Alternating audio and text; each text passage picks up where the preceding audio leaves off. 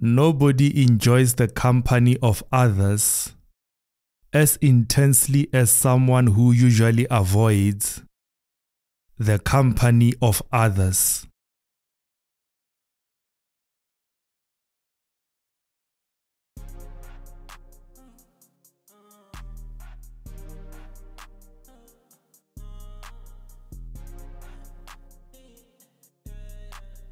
Mokokoma.